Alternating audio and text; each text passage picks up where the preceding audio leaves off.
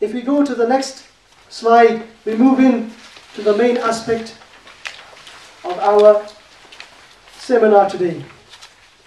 The first concept that we want to clarify is the concept of istighatha, calling upon someone for aid. Istighatha is mentioned in the Quran, though they would have you to believe that it has nothing to do with the Quran and the Sunnah. If you read the verse of the Quran Surah Al-Qasas, فَاسْتَغَاثَهُ الَّذِي مِنْ شِيعَتِهِ عَلَى الَّذِي مِنْ عَدُوِّهِ And his Sayyiduna Musa alayhi salam's countrymen sought his help فَاسْتَغَاثَهُ against his enemy. When Sayyidina Musa alayhi salam, we know he was brought up in the house of Fir'aun. He was brought up in the house of Fir'aun and he was given a high position in Egyptian society. One day, someone from Banu Israel saw Sayyidina Musa alayhi salam. He needed help against someone attacking him. So he asked Sayyidina Musa alayhi salam for help. In the Quran it says, فَاسْتَغَاثَهُ What does istighatha mean? In the tafsir uh, of uh, Zad al-Masir في علم التفسير of Sayyidina al-Imam al-Hafid Ibn al-Jawzi rahmatullah one of the great ulama of Ahl Sunnah wal Jama'ah one of the Huffaz of Hadith he says فَاسْتَغَاثَهُ in the ayah means فَاسْتَنصَرَهُ He sought his help. So those who accuse Ahl Sunnah wal Jama'ah of doing istighatha, why did this man ask Sayyidina Musa salam for help? Why didn't he ask Allah for help? That's what they would be saying now. Why is he not asking Allah for help? Why does he ask Sayyidina Musa salam for help? Why does Sayyidina Musa salam help him knowing that he's asking him for help? That he should be asking Allah. This is the kind of questions in those diseased minds that accuse Ahl Sunnah wal Jama'ah of shirk. Istighatha then is the asking of help from another.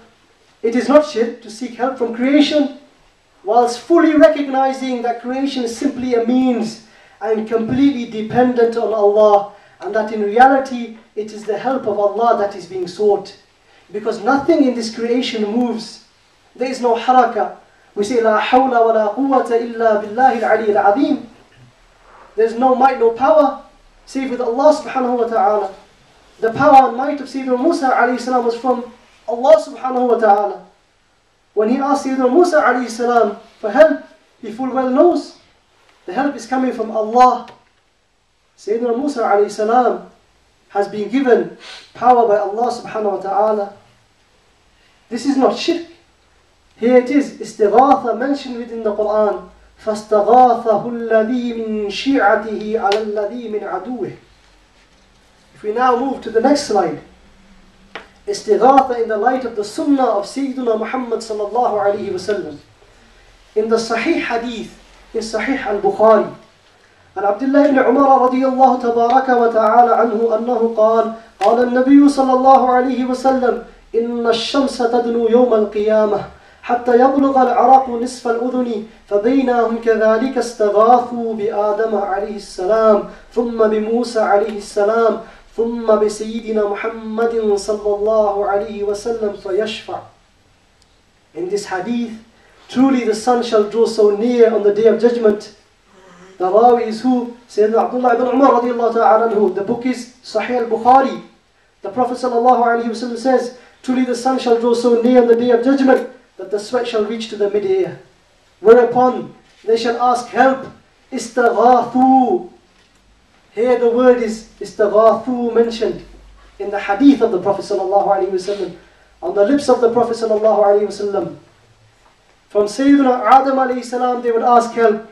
Then from Sayyidina Musa alayhi salam, each prophet will say, he cannot take this. It is not his right. Each prophet will fear that day about his own self. But Sayyidina Muhammad sallallahu alayhi wasallam will be thinking about the entire ummah. They will turn from prophet to prophet until they come to Sayyidina Muhammad sallallahu alayhi wasallam and he will intercede. On that day, even the munkirun, those who deny istighatha, will be forced to do istighatha. They too will be part of the people running from prophet to prophet the whole of creation will be running prophet to prophet. What will they be doing? They will be doing istighatha. Why do they, why do they not turn to Allah? The munkirun say, we hear them saying, why do they not turn to Allah? It is a day of judgment. Perhaps they say now, okay, it's all it's alright to do istighatha on the day of judgment. It's shirk to do in the dunya. A'udhu billah. What funny what funny logic these people have. What strange logic. We say to them, you who deny istighatha, you will be doing istighatha yourselves on the day of judgment. You do not accept the level of the rank of the Prophet ﷺ in the dunya, you will be forced to recognize his rank on the day of judgment. Sayyidi al-Imam Ahmad Rida Khan rahmatullah alayhi, the Mujaddid of the 14th Hijri century, in his poetic words in praise of the Prophet wasallam, he mentions that on that day, in the Maidan of Hashr, in the plain of Hashr, the true rank of the Prophet wasallam will be seen for all. For the one who denies it in this dunya, and the, for, one, for the one who accepts it in the dunya, they will all see it. The whole of creation. The believers and the disbelievers will see it. Subhanallah. This is the evidence of Sahih al-Bukhari.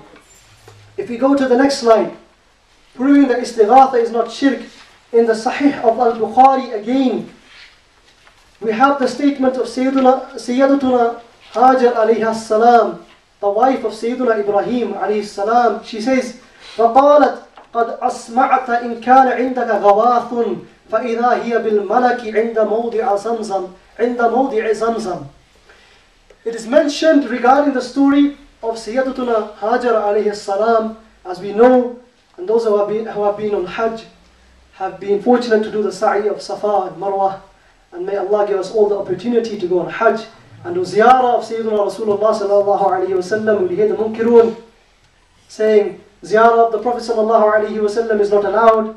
It is bid'ah, it is shirk. We do not lend an ear to them, we lend an ear to the adillah of Ahl Sunnah wal Jama'ah, the ulama of Ahl Sunnah wal Jama'ah. So here we see that Sayyidatuna Hajar alayhi salam, she was going from Safa and Marwa looking for water for Sayyidina Ismail alayhi salam. So she, so she hears a voice. She says, Indeed you have made me here. If there is ghawathun, help with you, then help me. Whereupon an angel appeared at the spot of the spring of Zamzam. What did she say? إن كان عندك غواث She hears a voice. She says, إن كان عندك غواث If there is help with you, what do the munkirun say, those who deny? She should ask Allah. Na'udhu billah, the mother of Sayyidina, Sayyidina Ismail alayhi salam, the wife of Sayyidina Ibrahim alayhi salam, she does not know Tawheed. You're going to teach her Tawheed. If you go back to the previous slide, Na'udhu billah, you're going to teach the Prophet sallallahu alayhi wasallam Tawheed, where he's telling you that the whole of creation will be doing istighatha by the Anbiya. Who should we follow? The whispers or the haqq from Sayyidina Rasulullah sallallahu alayhi wasallam in the Quran. So seeking help with the Prophet sallallahu alayhi wasallam. If we look here, we seek help from everyone every day. If you need a hand to carry your shopping, you turn to someone, ask them for help. Not shirk. Is it shirk? Asking for help from other than Allah shows you the shallow mentality of some people out there. Seeking help with the Prophet ﷺ is only a means of imploring Allah for the sake of his rank and his honor with Allah. The one doing the asking seeks from the one asked, asked that he assign him aid, ghawath, or ghawth, sorry from that which he has been given by Allah. The Prophet ﷺ has been given fada'il which cannot be enumerated by us. Allah subhanahu wa ta'ala alone knows the true limits of the great qualities and strengths of the Prophet sallallahu No human being can understand that. The Prophet sallallahu has been given these abilities. When somebody turns and does istighatha with the Prophet sallallahu in reality he's acknowledging that the Prophet sallallahu has been given great gifts by his Lord.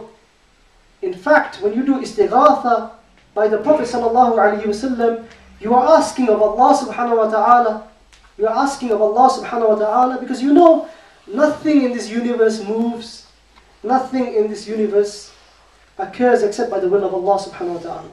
The Prophet ﷺ is the intermediary, intermediary means between the one asking for help and the one asked in reality.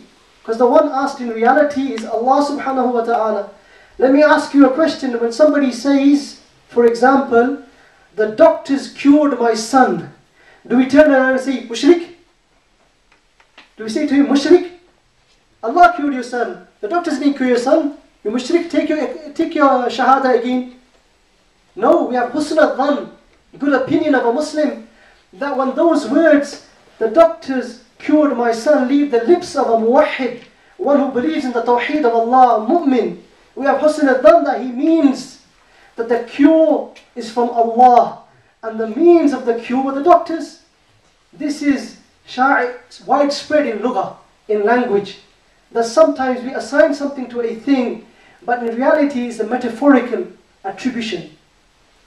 It is metaphoric. For example, if someone says that the uh, king built the city, the king built the city, does the king go out there and lay the bricks?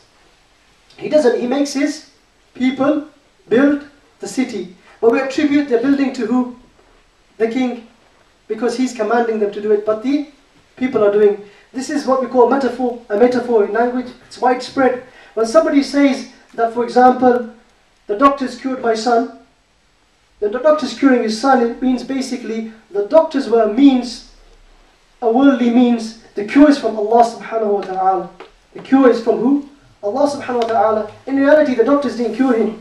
But now if that person had i'tiqad, belief, that the doctors themselves were the source of the cure, and they independently cured that person, and that person be mushrik. But we, when we look at a mu'min, and those words leave the lips of a mu'min, a believer, we have husn al good opinion, we understand language, and we say the meaning is that Allah cured his son, the means that was the means of that cure was certain medicines and certain doctors. It is quite well that the doctors may have tried in another scenario and he would die. But it is the will of Allah. Allah cures. But unfortunately, we have people out there who have su'adhan, bad opinion of the Muslims. They do not have husn When the words leave the lips of a believer, immediately shirk, shirk. So in reality, help is strictly from Allah in terms of His creation, while the help from the Prophet ﷺ is strictly in respect to His acquisition from Allah.